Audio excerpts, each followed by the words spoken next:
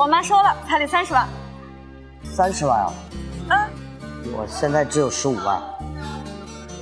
小妹，你能不能跟你爸妈说一下，三十万我认，就是现在我先给十五万，剩下的钱等咱俩结完婚以后，两年我两年肯定全。你没搞错吧？彩礼这种东西还能分期啊？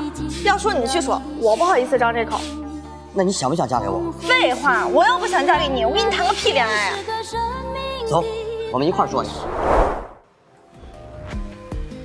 哎，大丁，你这个月怎么才给我转了三千啊？啊，本来是五千呢，我给了你爸妈两千。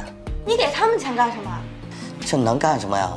咱结婚前都说好的彩礼钱，到现在都没给清。去年咱刚装修了房子，手里边也没钱，所以就一直都没给。这几个月，你说咱稍微好点了，不得赶紧把这。